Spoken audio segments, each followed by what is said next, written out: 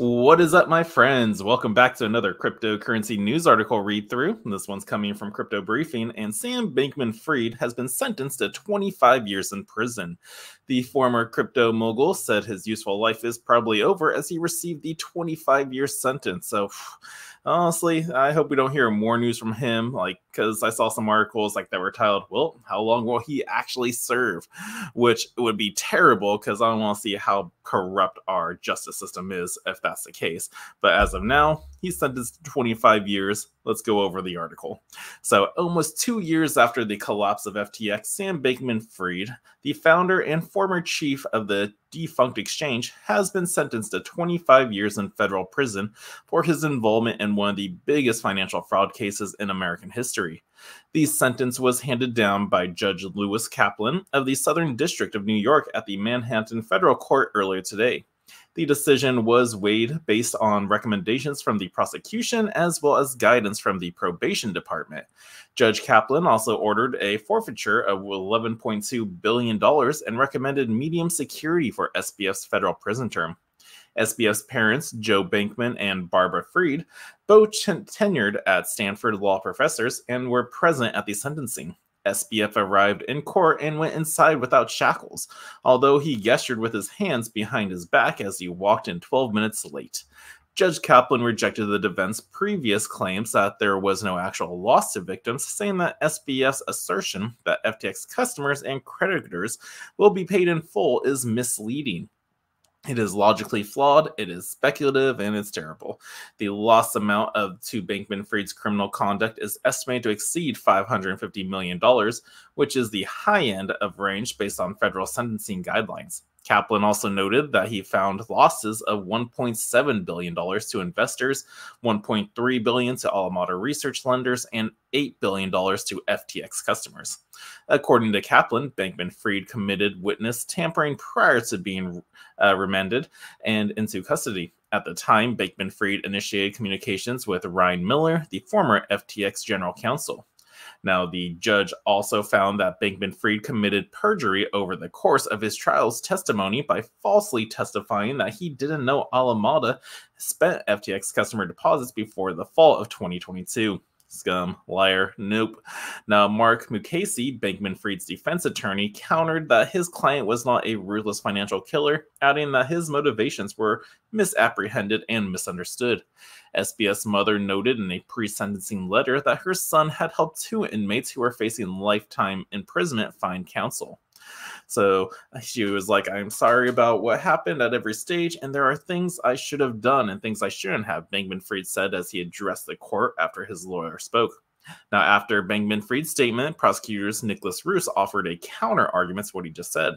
Sam Bankman Fried stole over $8 billion in customers' money, and I emphasize stole because it was not a liquidity crisis or an act of mismanagement or poor oversight of the top.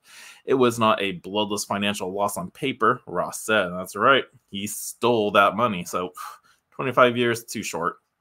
But from prime time to prison, SBF was convicted on November 2nd, 2023, with seven counts of the fraud and conspiracy for his involvement in the collapse of FTX, a crypto exchange that was once valued at over $32 billion.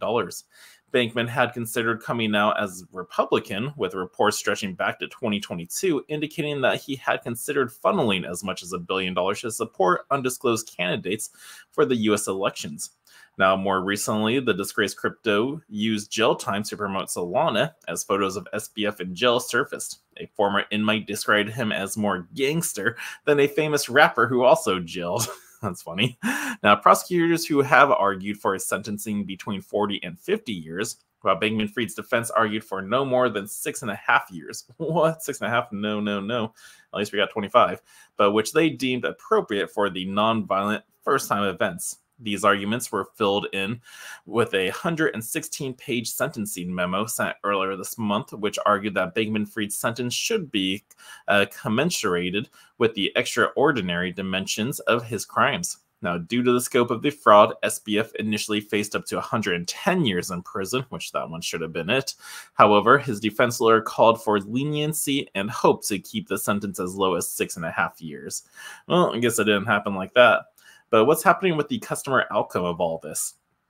The sentencing in what has been one of the biggest financial frauds in U.S. history was widely anticipated. In a letter to the Department of Justice this week, a customer who lost $4 million when FTX filed for bankruptcy in 2022 said his life was destroyed by the exchange's collapse. Sam Bankman's, or Sam, SBF's month long trial last year exposed similar stories of financial ruin caused by the FTX debacle. Now, FTX's bankruptcy affects an estimated 100,000 to over 1 million creditors and investors, including a substantial number of investors ranging from retail traders to major uh, crypto hedge funds and how they were impacted by the collapse. Now, major crypto lenders like Gemini and BlockFi declared bankruptcy due to their connections to the exchange and the wider market turmoil, while established exchanges like Coinbase and Binance were forced to lay off staff in an effort to deal with the setback. And I remember when we were dealing with all those uh, layoffs going on, that was like due to the bear market, but also this had this was like the catalyst to that bear market when it all happened. But now that the case has concluded, the focus has shifted to repaying customers who suffered losses in the FTX saga. A recent court hearing in Delaware sheds light on FTX's plan. According to FTX attorney Andrew Dietderich, the exchange prioritizes liquidating assets to fully repay customers. They reportedly recovered over 7 billion and reached agreements with regulators to ensure these funds go towards customers' compensation. Now, adding to the recovery efforts, FTX recently struck a deal to transfer two thirds of its shares in Anthropic, an AI company, for $884 million. However, many FTX customers believe the new leadership team at FTX is a significantly undervaluing their lost crypto holdings. CNBC reported that customers were worried that they might not receive the full value of their original investment. So people are still worried about this and like, are they going to get their money back? We can always just only hope and pray that they do get some of it back because I I think some is better than none.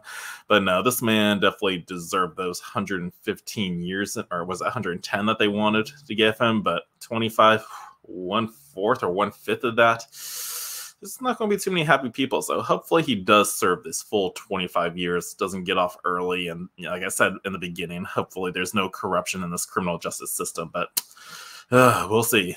But that's that Sam Bankman Fried news for you. Hopefully, it's the last of it. I've always been tired. I never really wanted to cover more and more articles of the like the court case going on, what's happening. I just want to hear them sentence him to prison, and then he serves his time. That's it. So hopefully, this news is finally over. We're going to a bull run. So guys, just learn from this mistake. Keep your coins off the exchange only in your own custody. Now, I hope you enjoyed this read through, and if so, smash that thumbs up, subscribe to the channel, and until next time, the Crypto Sherpa is out.